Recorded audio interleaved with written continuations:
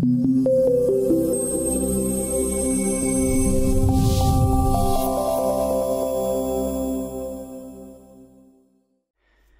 you're designing a fitted unit right up to the ceiling, it's sometimes advisable to leave a gap and add an upper strip to fill that gap. This is how you do it. Let's note first that the in the cabinet dimensions the height is 1200 millimeters.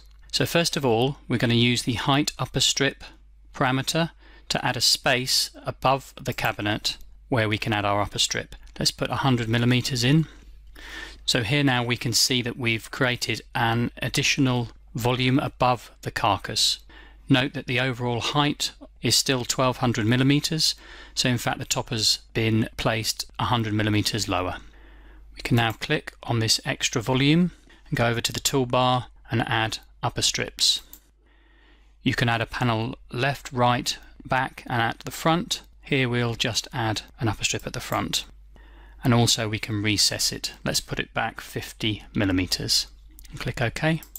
So you can now see the upper strip in place at the front of the cabinet.